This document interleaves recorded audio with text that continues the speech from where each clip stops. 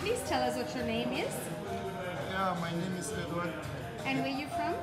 I'm from Kathu, Kathu. the north, Is, in the Northern Cape. have you had dinner or lunch at the Tin Goose before? Yes, I am. And please tell us what your experience was like. Yo, my experience was marvelous.